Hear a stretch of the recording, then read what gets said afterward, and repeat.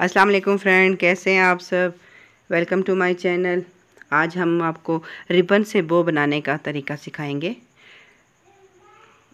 जिसके लिए हमें रिबन की ज़रूरत पड़ेगी। तो चलिए आए शुरू करते हैं। ये देखें, हमने रिबन लिया। 20 इंच हमने रिबन की कटिंग की 20 इंच पर। ये देखें। इसे अब हमने अपनी दो उंगलियों पे रखा, तीन इंच पीछे करके, यूँ करके अब हमने तीन दो उंगलियों पे रख के, इसे चमक वाला साइड हमारा ऊपर आना चाहिए और जो बिना चमक के है उसे नीचे करना है, ऐसे करके। इधर से भी हमने इसी तरह मोड़ के चमक वाला साइड ऊपर करना है और बिना चमक वाला साइड नीचे करना है।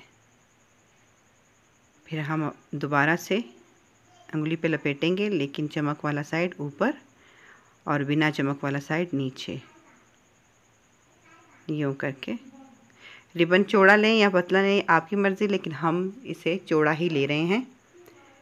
और ये पीछे का जो रिबन का बकाया हिस्सा बच गया है, इसे अब हमने उस उंगली के नीचे करके यूँ दबा देना है, जहाँ से हमने लिया था तीन इंच का गैप। यूँ करके हमने पीछे से इसे ले आना है। और यहाँ पे भी हमने इसका चमक वाला साइड ही ऊपर रखना है। बो के दरमियान में जो गिरा लगेगी, वो भी चमक वाले साइड की ही होनी चाहिए।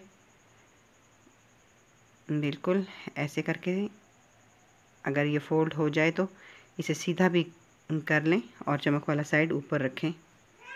यूँ करके। ये हमने इसका, इस एरिया को ठीक किया।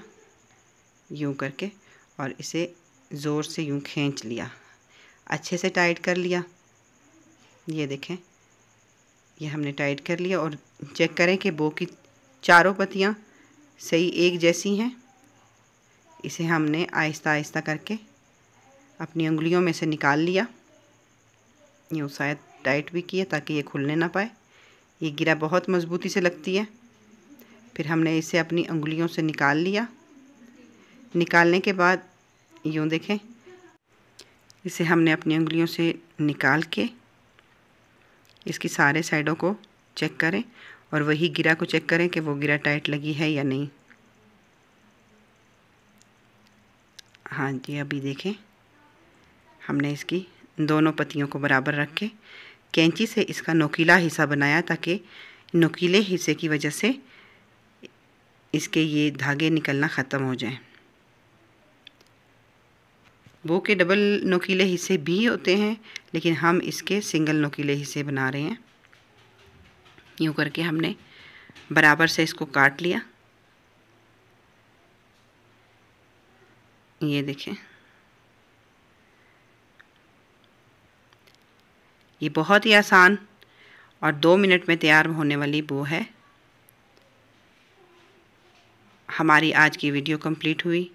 अगली वीडियो हम में हम फिर हाज़िर होंगे। तब तक के लिए अल्लाह हाफिज़।